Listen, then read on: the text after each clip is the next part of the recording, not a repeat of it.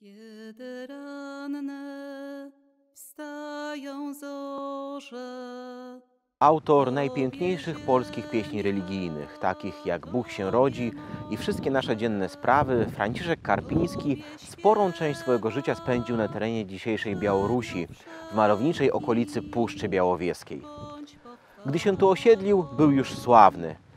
Wydał kilka swoich książek i nawet zdążył zapoznać się z królem.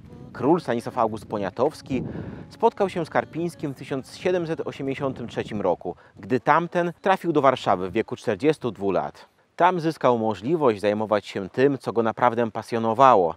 Pracował ze zbiorami Biblioteki Książąt Czartoryskich i wydawał kolejne swoje książki. Stał się słynny jako jeden z najwybitniejszych polskich poetów epoki oświecenia i czołowy przedstawiciel nurtu sentymentalnego w poezji.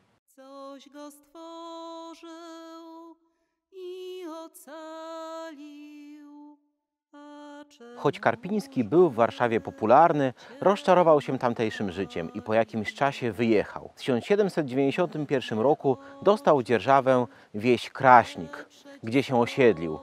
Dziś znajdują się tu dwie osady, Kraśnik Wielki i Kraśnik Mały. O siedzibie Karpińskiego, którą nazwał Karpinem, przypomina jedynie głaz ustawiony przy drodze. Kiedyś była na nim tablica pamiątkowa, ale została utracona. Nie wiadomo dokładnie, kiedy powstała siedziba w Karpinie. Być może to właśnie Karpiński ją zbudował.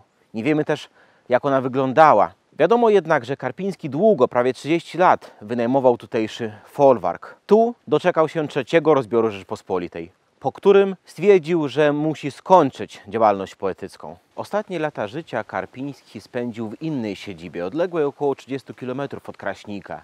Dziś jest tu malutka wioseczka. To dawny folwark Chorowszczyzna. Karpiński odkupił go w 1818 roku od Wincentego Orzechowskiego. Tu zamieszkał i skończył spisywać swoje pamiętniki, które nazwał Historia mojego wieku i ludzi, z którymi żyłem. Tu też zmarł 16 września 1825 roku.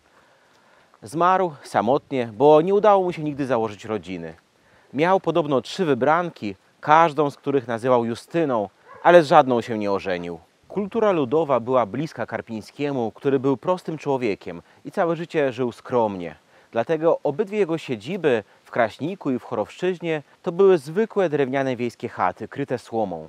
Żadna z nich się nie zachowała, ale w Chorowszczyźnie wieś wciąż jest otoczona starodawnymi drzewami, które pewnie jeszcze pamiętają czasy, kiedy tu był folwark.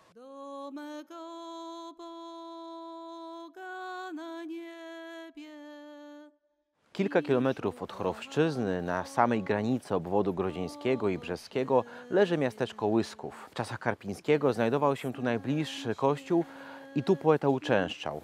Tu również został pochowany. Dziś przy kościele znajduje się nagrobek Karpińskiego o nietypowej konstrukcji.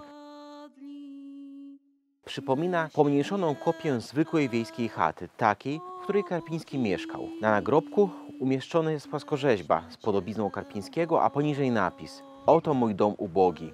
Podobno początkowo grób miał wygląd zwykłego kamienia z takim samym napisem, jednak później pojawiła się mogiła w formie chaty.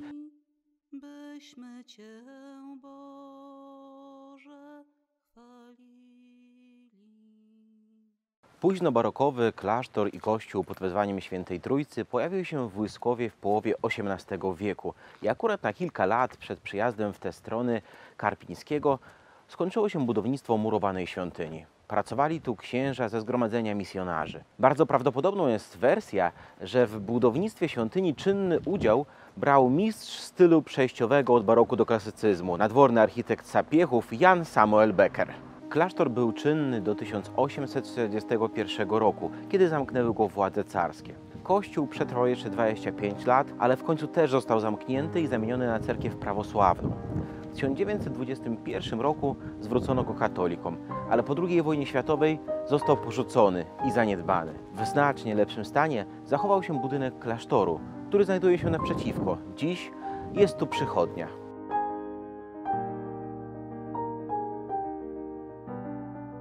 Niedaleko kościoła w Łyskowie zachowała się inna, niezwykle ciekawa świątynia, która szczęśliwie przetrwała II wojnę światową i funkcjonuje do dziś. Jest to jedyna na całej Białorusi unikatowa cerkiew w stylu zakarpackim. Została zbudowana w 1933 roku, a na jej kształt wyraźnie wpłynął styl modernizmu i architektura ludowa. Zachowało się tu sporo oryginalnych elementów stolarki, a także oryginalne kopuły, zupełnie niepodobne do cebulastych kopuł, które budowano w XIX wieku, kiedy cerkwie wznoszono w stylu pseudorosyjskim. Pomimo bogatej historii i znaczenia osoby Franciszka Karpińskiego, Łysków to dziś już nawet nie miasteczko, tylko zwykła wieś przy drodze z Grodna do Brześcia. Nie ma już co liczyć na odnowienie kościoła, ale każdemu, kto kiedyś zachwycał się śpiewem Bóg się rodzi na święto Bożego Narodzenia w kościele, warto przystanąć na chwilę przy skromnym grobie Franciszka Karpińskiego.